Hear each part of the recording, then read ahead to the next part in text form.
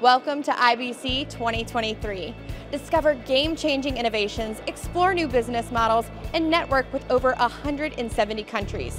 Exploring groundbreaking innovation across 13 halls, right here in Amsterdam. Ashley with InBroadcast. Joining me is Marc of DHD Audio. Hello. Hi. Hi. So, can you tell me where is DHD Audio landing right now in the media and broadcasting market? Yeah, certainly. DHD is um, one of the pioneers of digital broadcast mixing consoles. So um, we've been in the business for now roughly 30 years, and uh, we are still pioneering the digital broadcast console, especially focusing on the radio market here.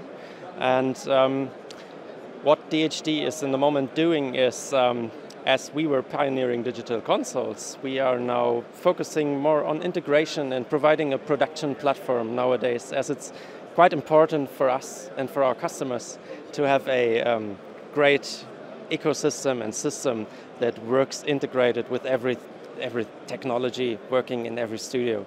So this is what we are focusing right now. Very good. And what trends are you noticing as far as technology in the broadcasting and media market? Um, the main trend we are in the moment noticing is a massive shift to IP, as well as in the audio over IP area and in the control area.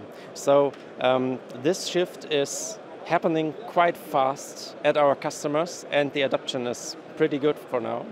And it's our task to provide the tools necessary to uh, increase this shift and to also provide a production platform that is not only a um, great platform for operation, but that's also a secure platform. The European Broadcast Union, EBU, has set some quite good standards in terms of cybersecurity. And what we are doing is we protect our mixing consoles as if they were a standard network endpoint. And we not only protect our networks or the customer's network, so also this is one perspective we are looking on when it comes to the transition to IP audio. Very nice. And so, what are you currently showcasing here at IBC?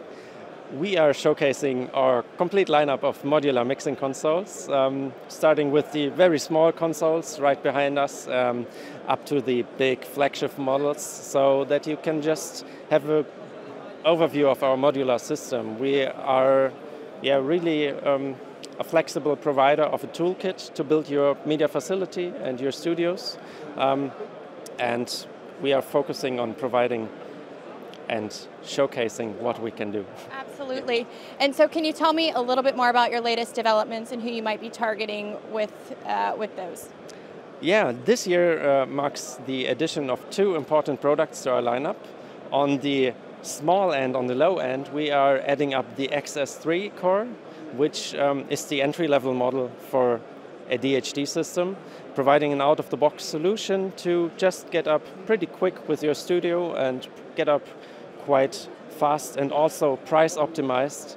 Um, and in addition, we are also introducing the XD3 in a new version, which is our high capacity core and our high capacity audio processor.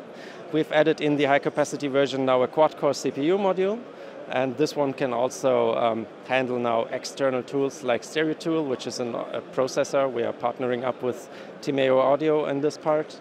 Um, and also we have many future applications which we can run on that platform. Very good. And speaking of the future, what is the future of the company? Where, what's next for you? Yeah, looking in the future is always a bit tricky. But we see um, a rapid shift with the progression of IP and adoption of IP in the media facilities.